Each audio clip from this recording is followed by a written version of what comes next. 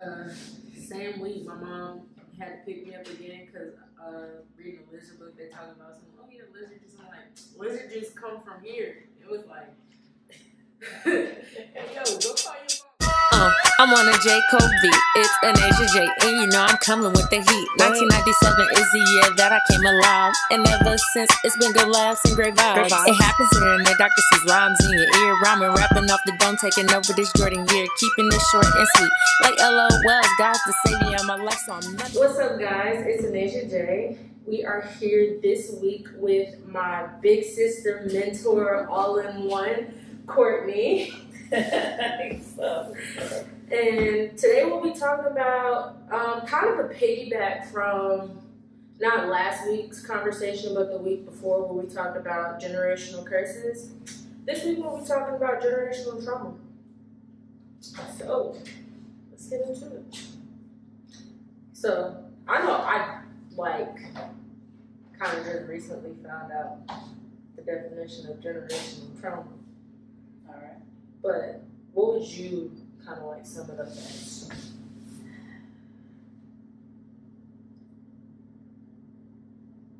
Like what you experienced while you were growing up that you don't want to pass on to your fu- future children, Okay. I would say. Okay. In the realms of that. Okay. What would be like? Because I know, like, with me growing up, looking at it when I was younger, I was really looking at some stuff that like my parents did or said, like, damn, like that's fucked up. and I know, like, it was certain things that I definitely did carry with me until like even now. But um, I can say that there are some things that me personally I wouldn't want to like pass on to my kids, even though I know like growing up my parents didn't necessarily mean any harm, even though it caused harm. Okay. Like you have examples in particular that you know you don't want to pass on.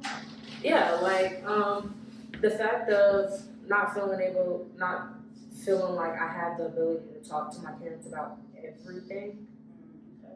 It was kind of like if it wasn't, I don't want to say necessarily like good, but if it wasn't a topic that they deemed a necessary topic to talk about, then like I really didn't feel like I had an open door with my dad.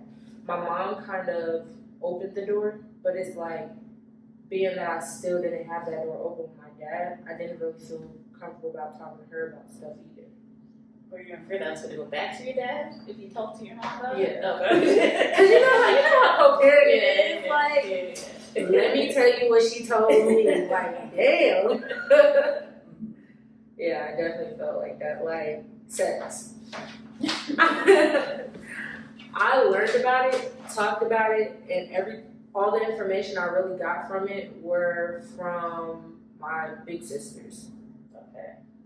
Like, I had them around because, like, got into a little relationship or whatever, and he mentioned it, and I was like, ew.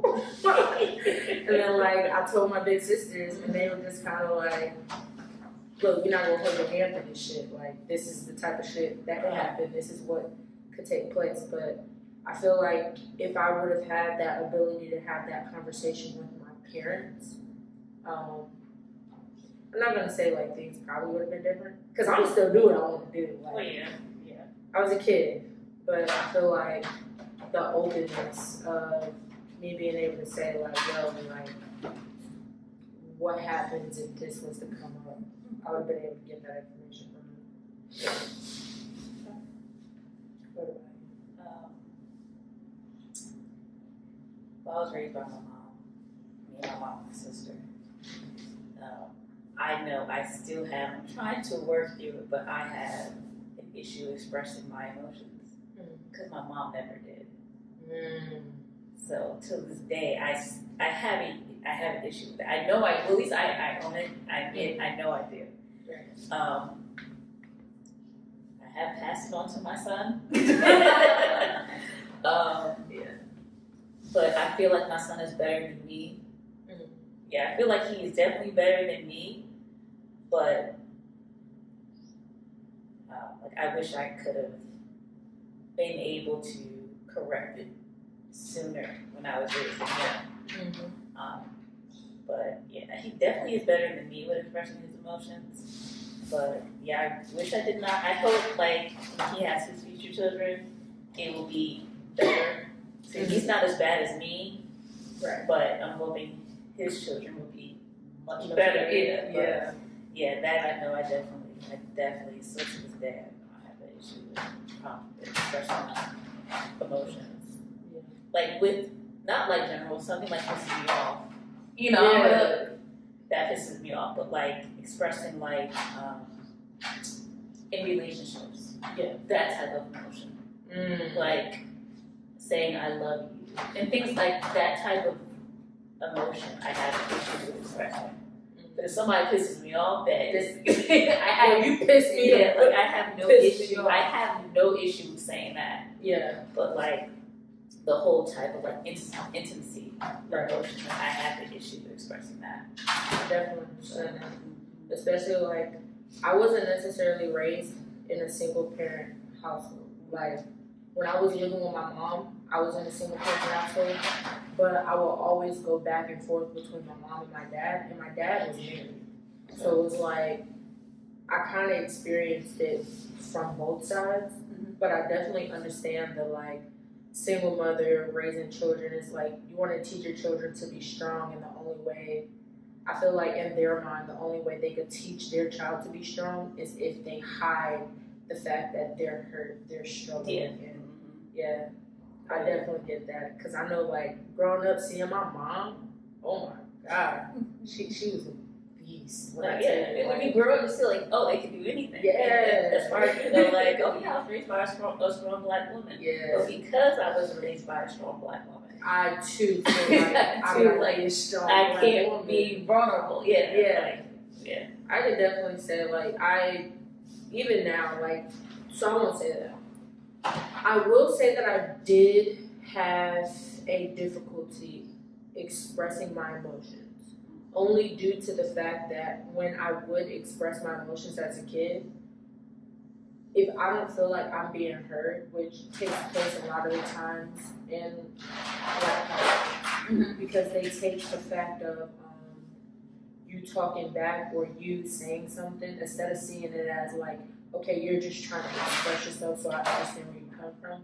It's kind of taken as like, oh, you're being disrespectful. Why are you talking yeah. So it's like I know a lot of the times when I felt like I wasn't being heard in the conversation with my parents, I'd shut down. Like I'd shut down, ball all my emotions up, and just like shut them down. I feel a lot of people do that. Yeah, because it's easier to push them down than to actually deal with them. Yeah. like it's always it's, it's definitely always easier to push it down because I'm like I know growing up and I still feel like this sometimes now. It's kind of like what is the point of me bringing this up and dealing with it if it's not going to change my situation? Like what if what what is the point of me telling you like hey you hurt me or talking about something when it's not going to change the situation. At the end of the day, what took place already happened. Yeah. So it's like, it's basically up to me.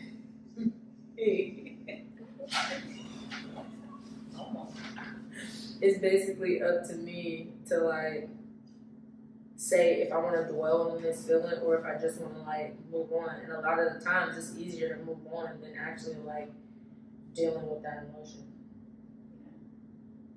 I do know, I did get this from my mom, like, she doesn't stay mad. Mhm. Like, she'll be pissed. You know, me and my sister will do something wrong. Whatever, we'll get in trouble, but like, an hour or two later, it's like nothing ever happened. Yeah. You know, so, um, I do like that, because I don't like to stay mad.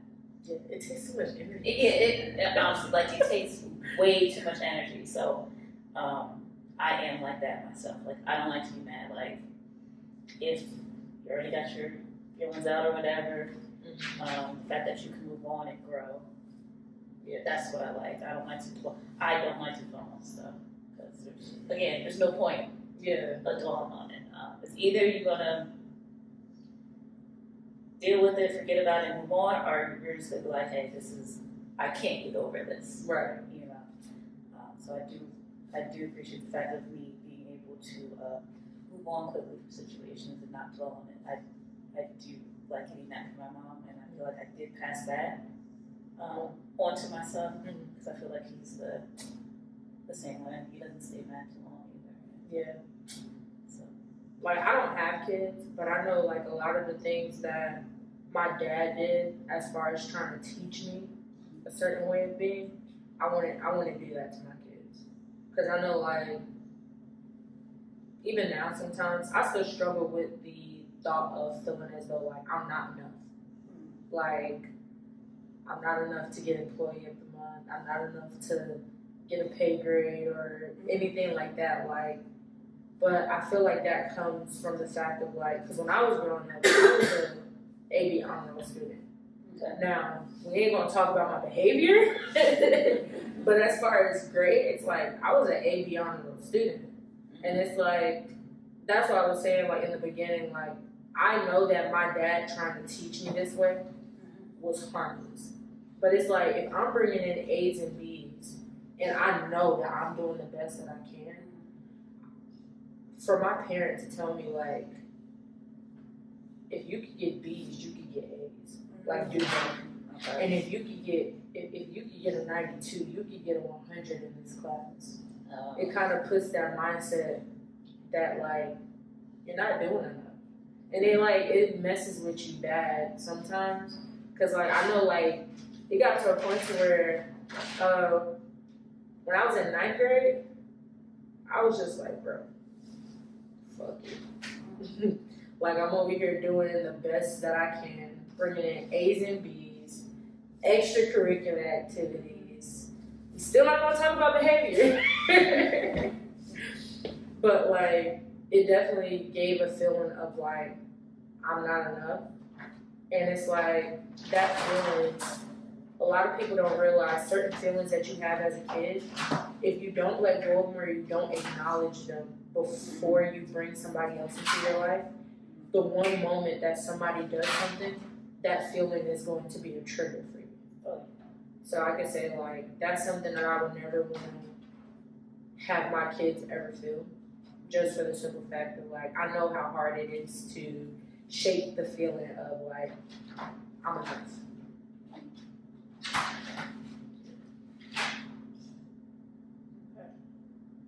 Yeah, I did that with like uh, I was a bad student. I was. I bad. I just need. I just got decent grades so I could remain playing sports. That was it. Um, my son, oof, way better than me in school. Um, but I acknowledge that. Like, wow, like way better. I said you're way smarter than me. So whatever you want to do, you do. Right. Like, because you can, because you're way smarter than me. Um, so I, I do understand that. Because when I was growing up, because I literally just did the bare minimum, I never got acknowledged. Yeah. You know what I'm saying? Um, Yeah. But I acknowledged, when my son was in school, all through school, I acknowledged everything he did. Um, especially when he got A's and B's, that's way better than when I was when I was in school. So, um, and then like I would go to every single one of his uh, sports games. Yeah. Even if he was sitting on the bench, I was Lightning McQueen. yeah, still, still in the stands, making sure he saw that um, support. Yeah, yeah. So I hope that's something that he passes down when he has uh, his kids. Yeah.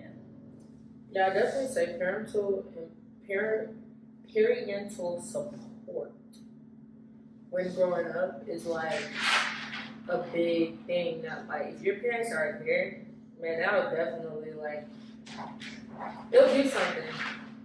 Not gonna lie, like not to really like. I have a friend. You say it's a friend. Um, their father wasn't in their life for majority of their life. And it's like it's come to a point to where now he wants to come around, but it's not really for the reason of them, even though like they're still there. And like they were just kind of like, bro, like at this point, I don't want anything to do with them, because like there's no point in you being here now when I'll grown up. Like all the childhood milestones, everything that you could have done with me when I was a child, you was only a couple states away, like I miss. And now that I'm an adult, like, what, are you here for now? And it's like I definitely understand that because without my dad or without both my parents being in my life, I don't know. I can't necessarily say where I would be, but I could definitely say like if I was in their shoes, oh, I'd be pissed. I, I'd be so irritatingly mad. Cause like I understand the fact that like, what are you doing now? Mm-hmm. Like 25 years old, and and now you want to walk back talking about hey, like come on man, miss me with the bullshit. yeah. But now at this point, so when your friend has their kids, now they know what they need to do. Yeah. But they're not passing that down Yeah. to the next generation. Because my son's father didn't grow up with uh, his father, Mhm. but my son didn't really grow up with his father. His father was more focused on uh, work, Mhm. making money, not spending time with his son. So necessarily what he what he missed out on having a relationship with his father, he kind of passed on to my son. Mm. Because my son didn't feel like he had that relationship with his dad. You know, so what you think somebody should have learned because hey, you didn't grow up with your father, necessarily so that changed from him not seeing his father to his father thinking, oh, if I work, make all this money, get you everything you want, stuff I didn't have is going to surprise me spending time. But it doesn't. You know what I'm saying? So Yeah. it's it's a way of you also interpreting like, hey, I don't want my son to experience not having a father or not having things I thought I would have. But instead of being there spending time, his thought was, I need to go out, make money, get him anything he needs. You know what I'm saying? Like there's a it, it- also depends on how you interpret that also too. Yeah. So now my son's like, yeah, Green, I could have I anything I wanted, I, I pretty much got. But um, the one thing I the one thing I wanted, the Yeah. one thing that I needed was Yeah. that time which I did not get. So now my son has to take that and then interpret is like, oh well, when I had my kids, my time used to go spending with my kids. Yeah. And being that male figure for my kids because that's what my kids need. You know what I'm saying? So But hopefully that's the way my son well, he, that's the thing you never know until he starts having kids and right. then it's like then you can like see the pattern. I Oh, feel yeah. like that's the thing with the fact of like passing on generational curses and generational trauma. Mm-hmm. The fact that like as an adult or even in the generations that we're in, like we never take the time to sit down and realize like this is what took place. This is how it made me feel. How can I start taking the steps to not because like I, I don't feel like when I had a kid, like if I was to have a kid right now, I can't promise that I would be able to like not pass on the traumas that my parents bestowed upon me. Mm-hmm. Just for the simple fact that like I haven't practiced making those steps to correct that. Like I feel like there really has to just be a real conversation that people just have to have with themselves of this is what took place, how can I not pass this on? Yeah. And then start like at that moment you have that conversation to like not be able to continue to pass that on to your kids. Well, yeah, and then take into consideration like shoot, I grew up in the nineties and two thousands. Mm-hmm. My son was raised my son was born in two thousand. From when I was growing up to this new age is Totally. totally different. Like the way I raised my son compared to like my sister has five young kids. Compared to the way my sister's raising her kids, granted my son's twenty three, but when he was in school, like I didn't tolerate the bullying crap. Like, don't come to me like that. Have some balls. Like, I'm, I'm telling my son to have grow some balls. Like, honestly, because you know, the generation I grew up in is like, we just let. It's either we gonna deal with it, we gonna fight, or we gonna like, you're just not gonna, you're not gonna punk me. You know what I'm saying? Like, that's the generation I grew up in. It's like you're not just gonna sit here and punk me at all. Mm-hmm. Like, it's either we gonna fight, or we gonna have it out, and you go your way, I'm gonna go mine. You know what I'm saying? Yeah, But nowadays, it's not even. yeah, Like, like they people start bullying, people start crying. Like, it, Yeah, but but that like one thing with that is the fact of like nowadays people are trying to make it seem like they have this whole campaign of like, oh yeah, bullying is not okay, bullying is not okay. But when bullying takes place in the school, you tell the teacher, a lot of the times the teachers don't do shit. So it's like it's left for that kid to make that decision, and if you have their parent, because like my dad, man, my dad will always tell me, don't get into a fight at school. Because if you do decide to fight at school, you better win that fight because you're not winning the fight when you get home. yeah, it wasn't an option for me to lose. Like, Yeah, it wasn't, it wasn't. When I tell you, like, man, even if I lost, I'm gonna get some good hits in. I'm, I'm gonna make you remember not to mess with me.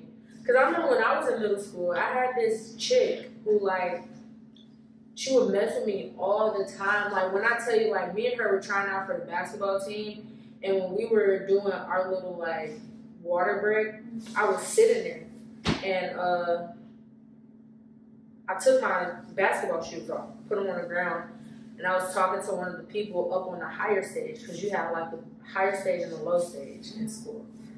Man, she done tied my shoes together. I didn't realize it. Put my shoes back on, went to do suicides, fell and busted my lip. Like walking down the hall, she put hand sanitizer on her eye, blanket in my face, and my dad kept telling me like, "Yo, like stop, like if you keep on, you're not playing basketball." So that week, that same week, I'm trying my hardest to like not do anything, like ignore her, and she pushed me into the locker.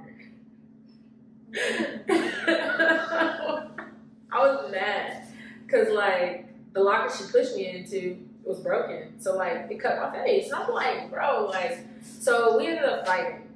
I started the fight. Like she was walking, I pushed her back, and I'm like, so it looks like I started the fight. Mm-hmm. And my dad was like, "Oh, you pushed her first? I'm like, "Yeah." After she pushed me into a locker. So you pushed her first? I'm like, "Yeah." He was like, "I would have suspended you." So it's like, what? It's like a lot of the times I could definitely say like in certain situations, I didn't feel like my parents necessarily had my back the way I would want them to. And I know that's something that I would not want to pass on to my kids. Like I definitely believe in the fact of like having your back in public but correcting you in private. Oh yeah, yeah, I definitely. Yeah. Like I do with my nieces and nephews. I'll be seeing them bullshit on the playground and shit. Yeah. But like the one minute somebody steps in and do something, yo, leave them alone. Leave them alone or you gonna have to deal with me. Get back to the car. Nigga, why you pushing off the swing like that? like, yeah, like I could definitely say, cause like even teachers, like even teachers are bullies. Like I had a teacher tell me just because I slept in class, like I I had an A, like 95 in this class. And within the matter of a week of him being there, he dropped my grade all the way down to a 70. Just because after I would do my work, I go to sleep. It was the first period of the day. You give me this little five question ass quiz, tell me that's all we have to do for the day. I'm a very intelligent student. I'm not gonna take a whole damn hour period like everybody else in class. Like, nah, I'm bust these questions out, pass my testing. I'm gonna go to sleep. But yeah, he told me that I didn't represent the the appearance of a intelligent African American student just because I slept in class. Dropped my grade down to a 70. And I was like, yo, do you know how many like extra credit assignments, everything that I was doing that like kept my grade at a 95? You done dropped it down to a 7. Mm-hmm. So I went home and told my parents. And in my eyes, I'm assuming that my parents will be like, you know what, let me go down to the school and talk to this teacher. And like I definitely can say like it crushed me when my parents was like, Well, why are you falling asleep in class anyway? I'm like, did y'all not just hear me say? like he just told me that I don't represent an intelligent black African American student. Like, come on now. And then he dropped my grade, like, help me. And they're like, help yourself, stop falling asleep in class. And I'm like, yo, all right, cool. I guess it's my fault. Well, with, with that being said, it's our parents are raising a different generation than us. Like the mistakes that my mom made were based on how she was raised. You know what I'm saying? yeah. Um, and also the time that she was being raised in. Mm. You know, so that's our reflection of that. Nowadays, it's getting harder for parents to adjust to these new times. So it's not even necessarily that they- they're passing down mistakes, it's that uh, they also have to take out time to see what's going on now. Mm. But when I was in high school and stuff, I could do stuff, and nobody would ever know because there's not a camera up in my face. You know what I'm saying? Right. There wasn't, Oh a, my ca- God. there wasn't a camera up in my face when I, when I was going through middle school and high school. Mm. You know, um, so like the talks I've had to have like with my son had to be different because and I had to learn like because things were getting recorded, pictures and all stuff because I didn't have to grow up with any of that. You know, so I had to figure out how to uh, adjust to those new times, and that's why not everything I said to my son was uh, politically correct. Because my son knows me, I just say whatever I say. he knows I don't pretty much watch my tongue, especially around him. I'm gonna I'm gonna tell him How it is. how it is realistically. So, but it, it's difficult for for parents nowadays to figure out. Not even parents, just adults Mhm. to have to try to figure out how to deal with uh, some of these kids nowadays because because uh, it's very sensitive Yes. nowadays. So the the way I, I would talk to my son or raise my son, the way I was raised, my Mhm. parents, my mom talked to me a certain way that not necessarily that it, it was bad Mhm. at all, but some of these kids now that I can't talk to them It was like that rough. because they'll like cry in the corner So something. You know what I'm saying? Like Like, why are you talking to me like that? I think that's why my son currently is as like tough as he is now mm-hmm. because my son was not bullied.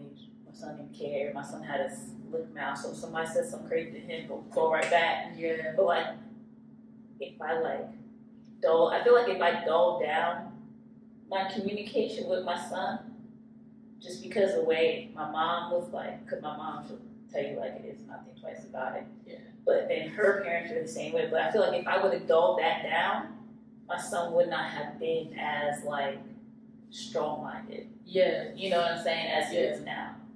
So it's kind of hard to uh, figure out the good and the bad of what's being passed down from generation to generation. Yeah. When you're still trying to Yeah, figure out still- where you're at now. exactly. Yeah, I definitely get that. Like the generation, like now, everything is always like phone this, TikTok this, YouTube this, do this, do this, do this, and I'm like, yo, like put your put the phone down and read a book. Like, I remember when I was growing up, well, my punishment used to be I had to watch TV. Like, I hated watching TV. like, even now, I don't really watch TV, play the game, none of that. Like, I rather go outside, read a book, do something that's like active. Yo, punishment, you can't go outside, you can't ride your bike, give me this. I'm like, hey, can I read? Because I definitely used to be all up in give me this book. Like, God damn, what can I do? Oh, you can watch this. Like, come on now. I'll be sitting there like, bro, I really hate. But no, like it definitely is. Like I feel like that is something that like to be able to break the generational curses, you have to realize the generation you're in right now, and then like do whatever to try to navigate now. Yeah, cause like I do understand. Like my dad used to tell me about how his mom raised him, Mhm. and it's like Grandma Louise was wild. but that doesn't mean that like that wildness has to continue to be passed down. Mhm. I feel like there could be different alternatives to just make because like parents are supposed to be a safe space for everybody. Mhm. Like no matter how old you get, and I feel like that safe space should start when you're younger. Oh, yeah. Like I could say now, I could probably talk to my parents about anything, ask them anything, but it's like I'm 25 now. if I had this same feeling when I was 16 Mhm. or 15, 14, even 18, like I feel like I would have been able to either still be where I am or a little better. As far as like the relationships I've had with people and everything went. I can definitely say like it probably would have been different. It it would have been different.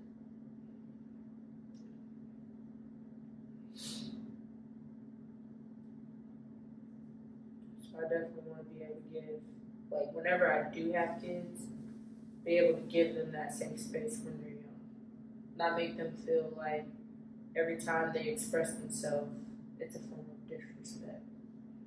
Just because everybody has different ways of expressing yourself. As a kid, when you're mad and you yell, they're not yelling like we're not yelling at the, our parents.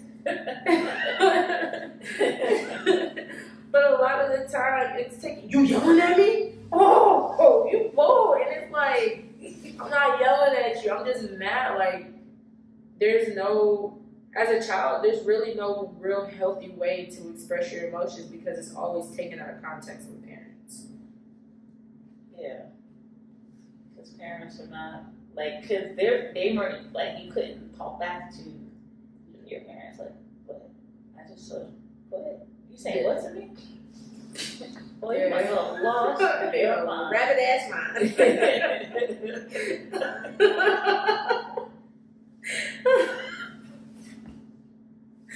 oh my god, certain things that like they would say back in the day, like I really be thinking like, where did you get that from? But then you'll realize when you have your kids, the crazy stuff your parents say to you, Mhm. you'll be like, you'll say it, and then you'll be like, wow, parents, my parents.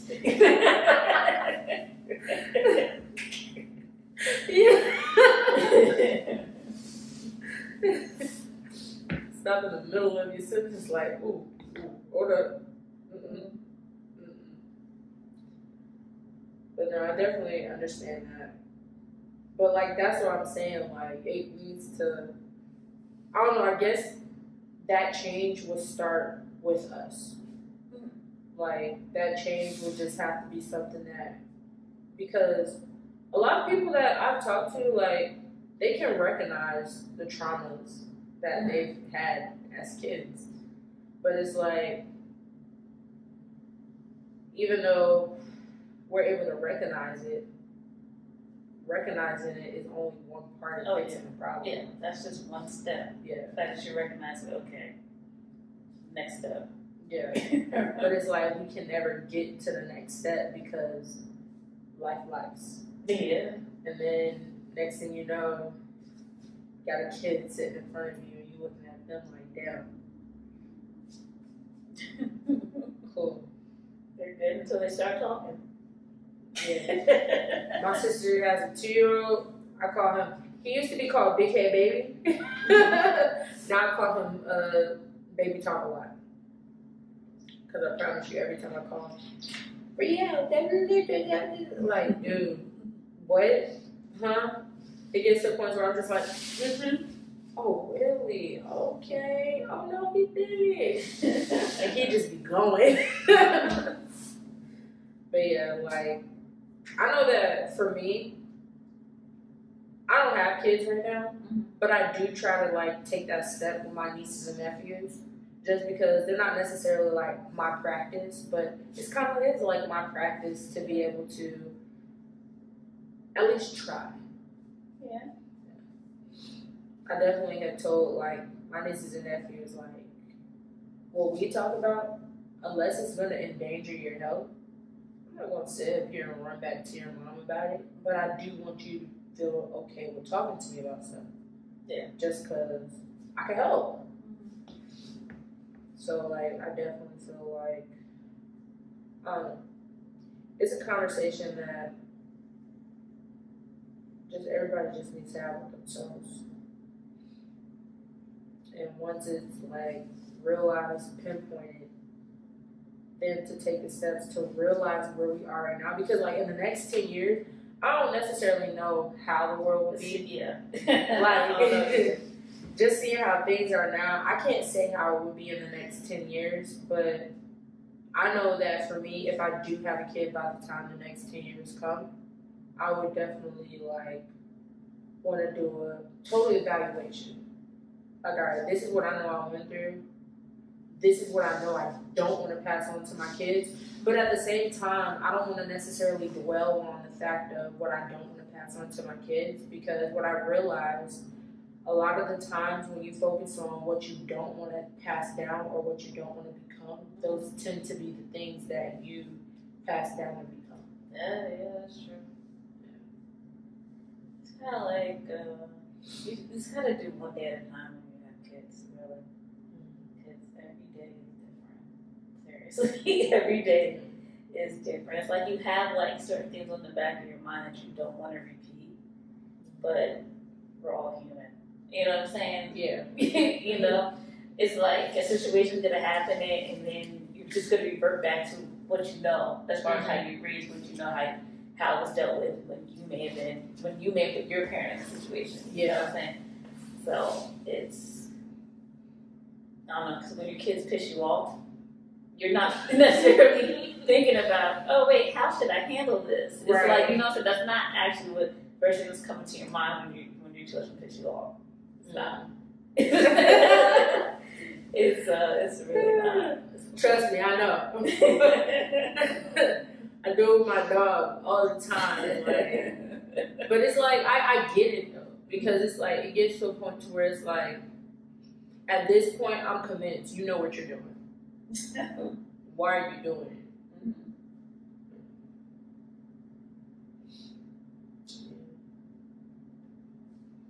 What do you think like you would say as far as raising your son was probably like the difficult thing of not passing your own traumas on down to him?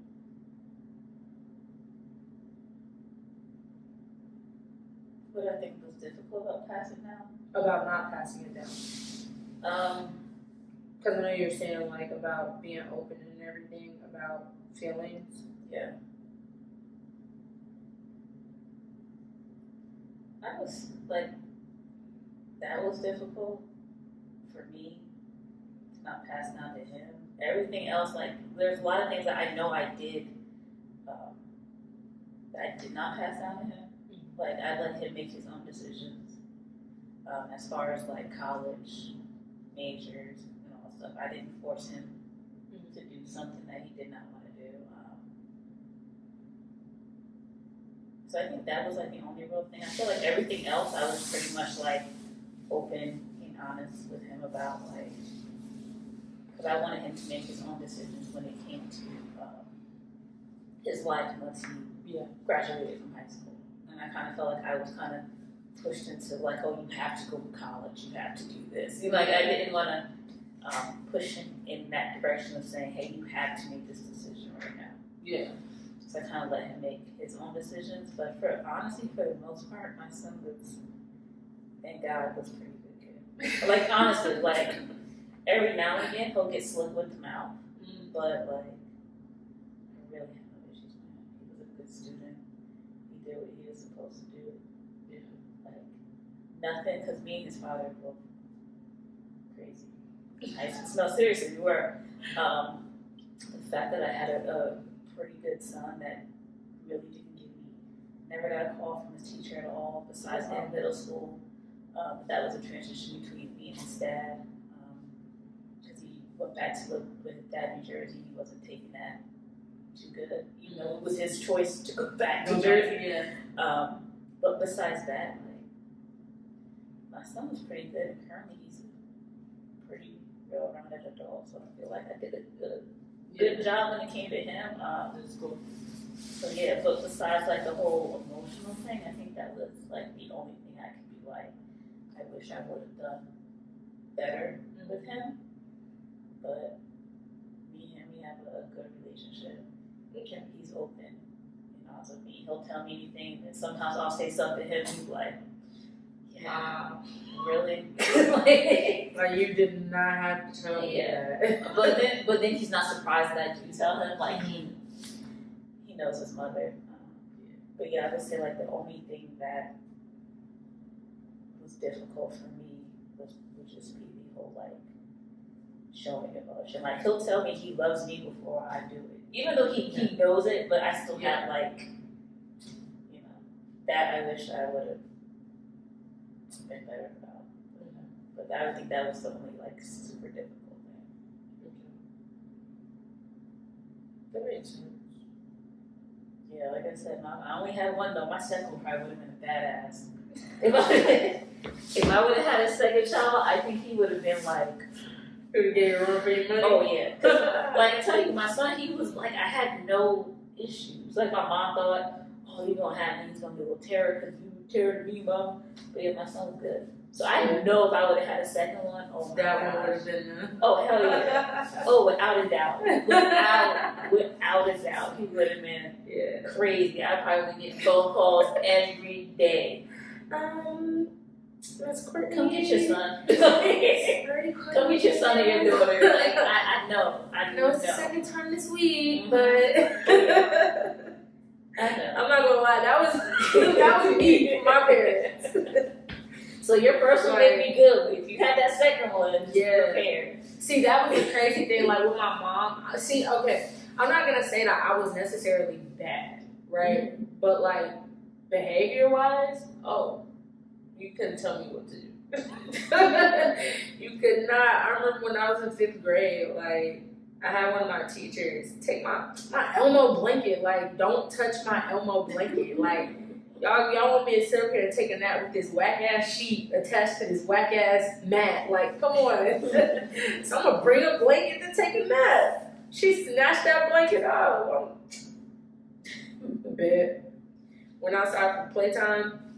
Took a jump rope. Locked her in the bike shed. And I went play. and the only reason why like my teachers knew it was me, because I was the only person in my class who knew how to tie. so they called my mom. Yeah, teacher been locked in the bike shed for about an hour and a half now. We can't seem to cut the jump rope and the knots. We can't get the knot out. Riel tied it. But yeah, uh, same week, my mom had to pick me up again because uh, reading a lizard book, they talking about some, oh yeah, lizard juice. I'm like, lizard juice come from here. It was like, yo, go call your moms. but yeah, I can definitely say like, there's a lot of things that, uh, as far as generation comments go, that I wouldn't pass down to my kids. And it's great to hear that you did a pretty good job at not trying to pass those same things down to your son. That's pretty cool. But that is our time for today. This was fun. I really appreciate you being here today for the podcast. You know, mm, still up and going. Everybody who's viewing this, don't forget to like, comment, and subscribe.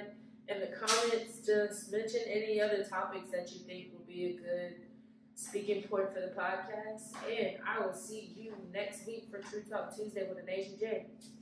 Peace. Listen close, you know Anazjah J is a vibe. Tune into my channel, like, comment, and subscribe.